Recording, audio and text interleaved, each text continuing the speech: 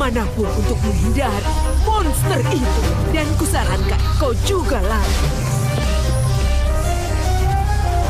Lari, jangan berbuat seperti ini.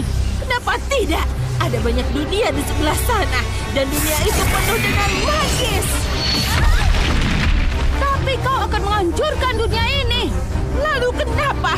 Ada banyak magis di sana. Dan aku ingin memahami semua